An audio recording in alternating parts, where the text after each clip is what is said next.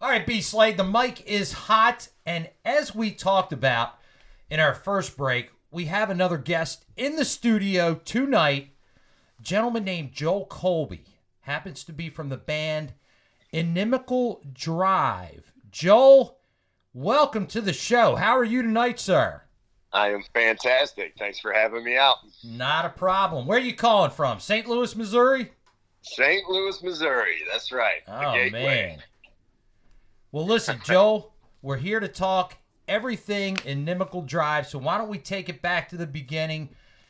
How the band start, and even even more, where did that name come from? I, will let you take over from here. uh, I wish that the uh, that the name had a cooler story, but it's kind of turned into something uh, now because we've had it for so long. So first of all, you got you're doing a great job saying the name. Uh, so uh, we had it pulled up when we listened to it on Google Voice. Ah, that's awesome! you did your homework. We even we even so, had we even had it back there for the introduction. That's perfect. so uh, the, the the word inimical actually came our uh, original drummer years ago. Uh, he came across that word, tried to come up with some different combinations, threw that together, uh, and came up with inimical drive. And we didn't know it. And back then, we didn't even bother to look it up or even try to understand it. And so it had plagued us for years that people said it wrong. They couldn't spell it. They couldn't remember it. You say inimical. Oh, you're in a band. Inimical drive. what? And it's always what is the, is the next reply. So uh, in recent times, uh, we had been told, uh, you know, as you start to push new music out and you're getting things out to radio and, you know, you're, you're pitching to everybody like, Hey, we got this thing. We're going to, you know, this, this is all happening. Here's our timeline. And, uh, we had some people say, "Oh man, the name is awesome. That's so current." I'm like, "Well, it's not current, but but uh, but okay, that's good to hear." And then the other half uh, again, can't say it, can't spell it. And we were told you are absolutely going to have to change the name. He said, We've had this name for too long now. It's too late. We're in it. And so uh, this became a joke. And now, if you go to our social media, we, uh, as we start to tour out to new cities and meet new fans and meet people, um, we do a say the band name and see if people can get it on the fly without having Google uh, help. We got it right here, Joel. and so, uh, so yeah, it, it's turned into kind of like a funny skit. So it's the say the name and see if people can get it right. So That's it's also awesome, kind of like dude. a it's also kind of like a fu to like, hey man, we're actually hitting milestones right now for uh, for this band, and so uh, turns out the name was okay. that so, is a great story. so yeah, so while how it came to be was not the best story. It's kind of a cool story now. So, so we're running with it, you know. Still awesome, man. Well, I tell you what, why don't you take us back? We talked about the origin of the name. Talk a little bit about the origin of the band. Are you are you a founder, a co-founder? How how did it all come together yeah. for you guys? Yeah, I'm a co-founder with uh, Nick, our rhythm guitarist, and our bassist Dan. The three of us are the OGs, and uh, we just kind of fell into it. We're 100% the most garage band story that you can that you can come with. It's uh you know had a couple friends that played some instruments and it all landed at my house and we just started beating around on things and seeing if we could make anything happen with zero intention. Just do we even know how to you know make a song. And so right. we, we are that. We're as garage band as it comes just figuring it out together and along the way. And so you know when you've been doing it that long with certain people it's uh you know it's kind of like having a couple husbands but uh okay. but uh, i'm with you but uh, yeah, so you know, I always say Nick is my guitar player because we've just been doing it forever. Every song I have written has been with Nick, and we've written with other people and things like that too. But uh, it's uh, that's kind of that core that worked for us, and I think it's just that, just because you know we just figured it out along the way together. So, so yeah, Nick and Dan and myself are OG members, and uh, we've gone through uh, a couple other uh, positions, but um, the the current lineup with Rich and Zach uh, on uh, lead guitar and drums is uh, definitely the the most solid uh, group working together that we've ever had. So. That's awesome, man. Really, really good stuff. Well, I tell you what, man, we're sitting here, we're talking, we're sitting down. As a matter of fact, if you're just joining us and you're wondering who's this guy, who are they interviewing this week, we have rock royalty with us in the studio. We are talking to Joel Colby, co-founder of the band Inimical Drive. Joel, I tell you what, it's time to let the Muay Thai metal fans hear Inimical Drive, maybe for the very first time. What do you say we we, we hit the Wayback Machine and, and do something from an EP in the past? What, what song do you suggest we do first? How about um, you, you go ahead, you go. Uh, I would say Enemy. You want to do Enemy? Uh, t- title track off of the last EP, um, and uh, not so surprising, but uh, we always felt that this was a, a, really strong song, and it actually fell to the back burner for years for us. So uh, Nick and I had written this song um, with another friend of ours in Nashville, and it just kind of got put on the back burner, and we always felt like it was a strong song. And uh, we ended up making it the title track off of our 2020 EP and um, it turns out that uh, the fans agree. It's one of our most popular songs on uh, streaming platforms. So uh, give the fans what they want. I would say Enemy. Sounds real good to me. You are listening to Joe Colby, the band Inimical Drive, the song Enemy, right here at 97underground.com, Baltimore's Pure Rock Worldwide.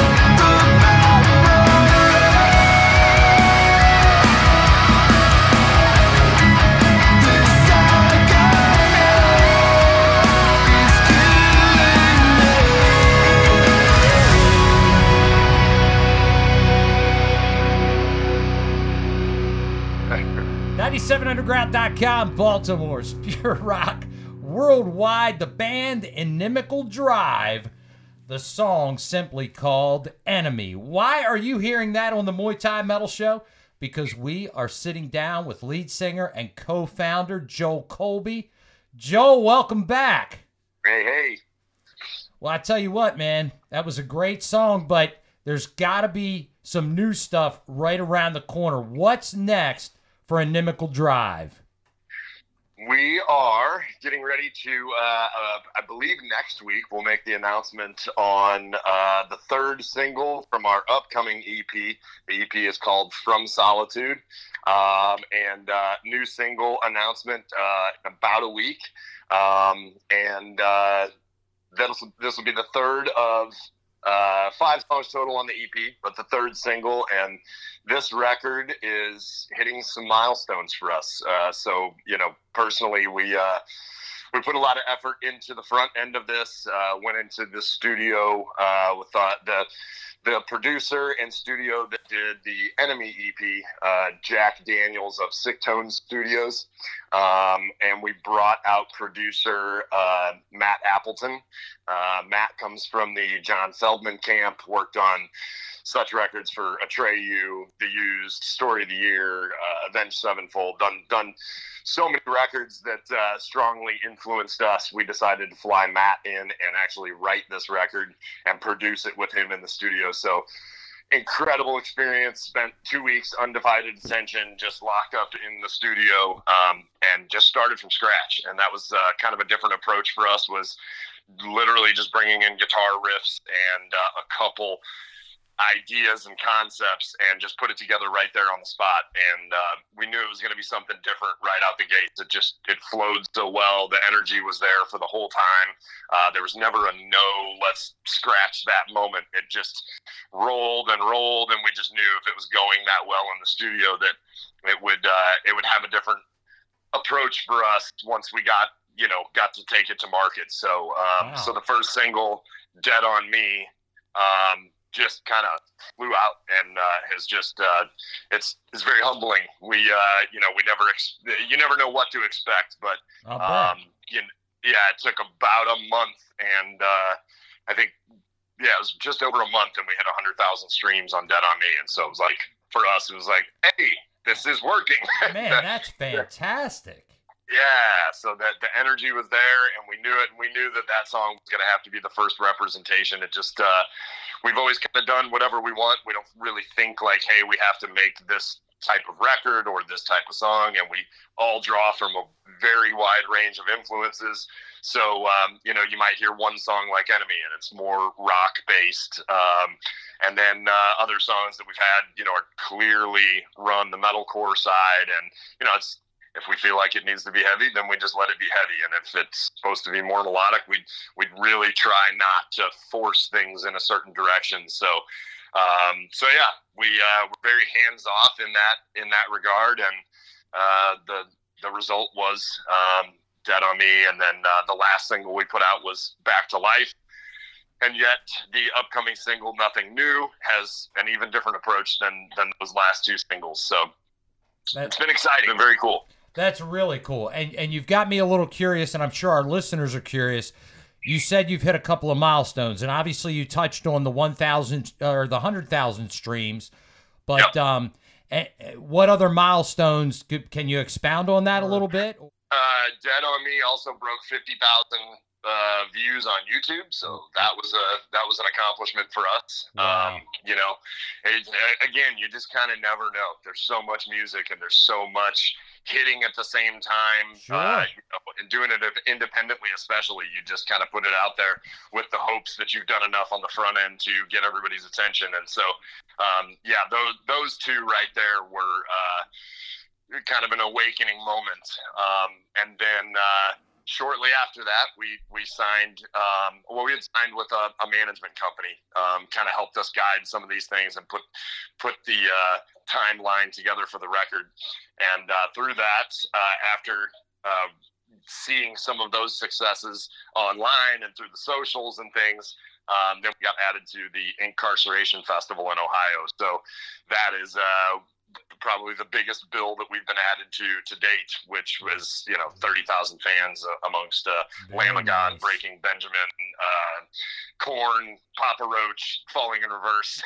so uh, so it was like, oh hey, all right, this is like working all the way around. so uh, yeah, it's been it's been a very exciting time. So we can't wait to uh, get another single and another video out and uh, just continue to ride. You know.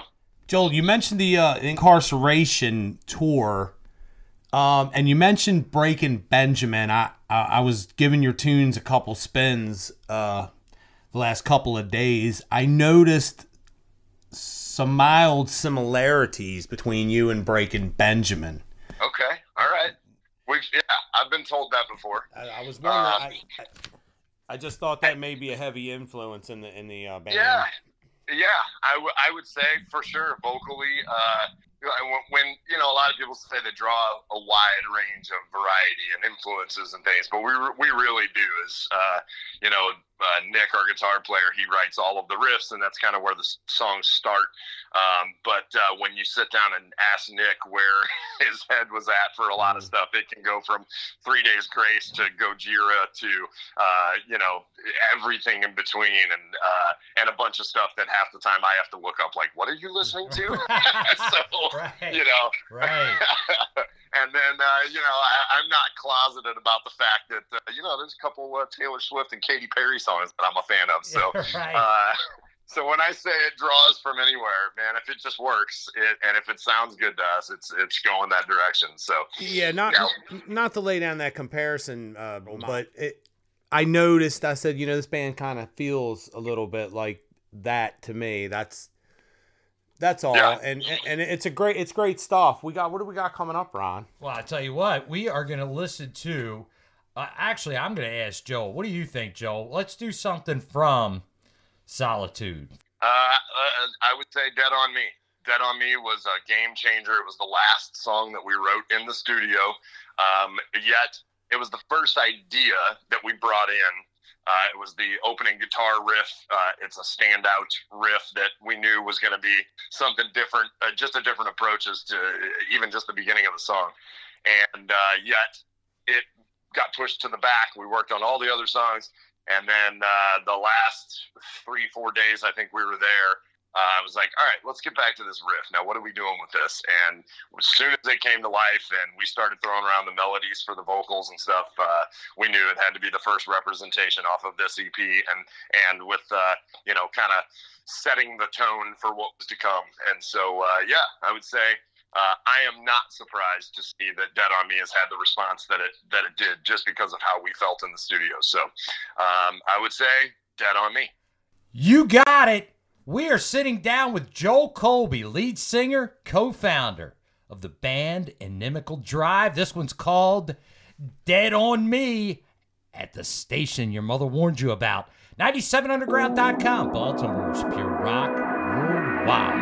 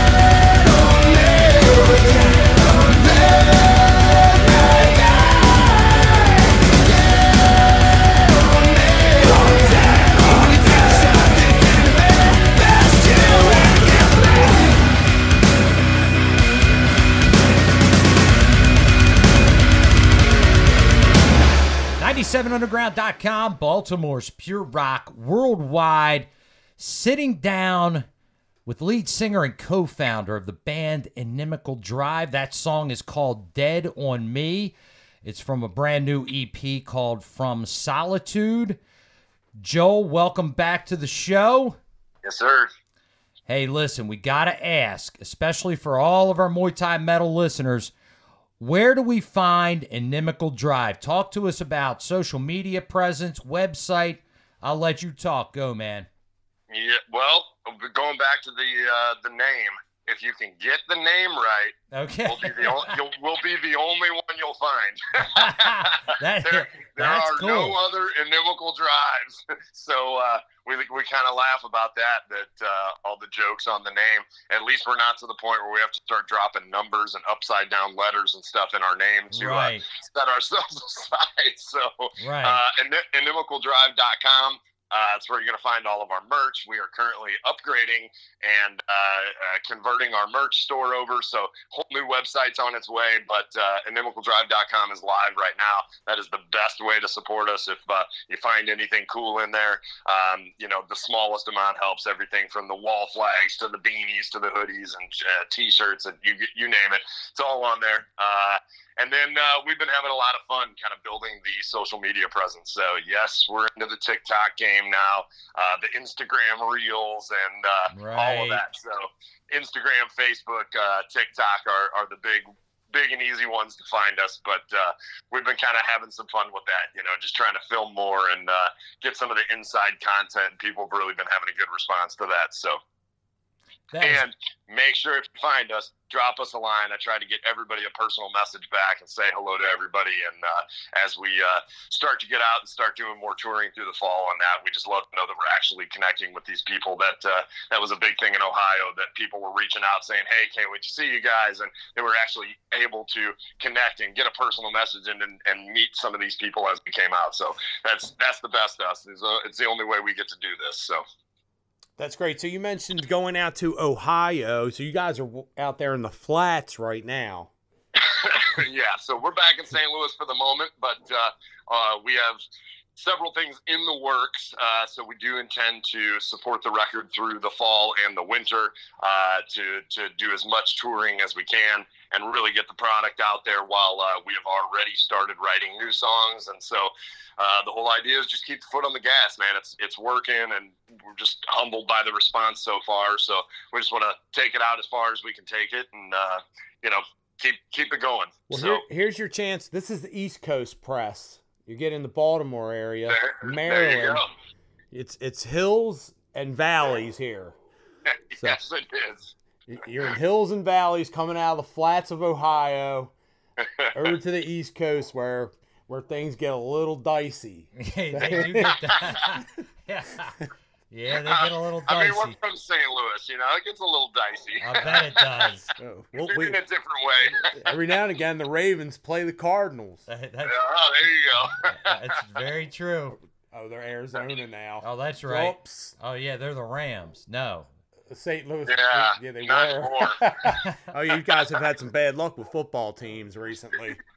yeah, yeah. Now we're uh, hoping for the XFL to bring the Oh, life back to us. good That's all. That's all we've got. Hey, but you still got the Cardinals, man. You got the baseball Cardinals. That's right. We got the baseball Cardinals, and you can't touch us there. So. No way. and and the St. Louis Blues. I'm a hockey guy, Yeah, the Blue- yeah, St. Blues St. are Louis cool. Blues have made us proud, and uh, there's a good core core group there. But you know, we're we're apparently big into soccer now these days too. We're getting an MLS team, so Nice. that's uh, yeah, that's uh, next year I think kicks off. So yeah, Good stuff. Good stuff. I just I had to throw the football reference out there. Uh, yeah. Uh-huh. right. My Anyway, bad.